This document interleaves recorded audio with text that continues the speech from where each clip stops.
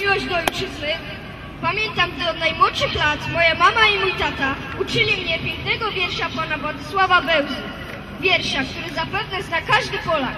Poezji, która zapadła mi w pamięci, a którą chciałabym wyrecytować razem z wami. To co? Pomożemy Marietce? Pomożecie? Pomożecie? Marietku, startuj! Kto ty jesteś? Polak mały! Między swymi! W jakim kraju? W polskiej ziemi! Czym ta ziemia? Mą ojczyzną! Czym zdobyta? Krwią i blizną! Czy ją kochasz? Kocham szczerze! A w co wierzysz? Polskę wierzę! Czym, czy, czym ty dla niej? Wdzięczne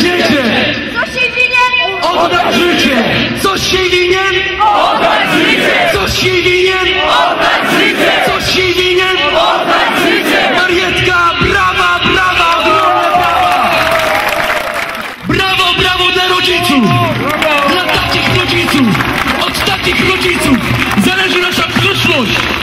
Od takich rodziców zależy, czy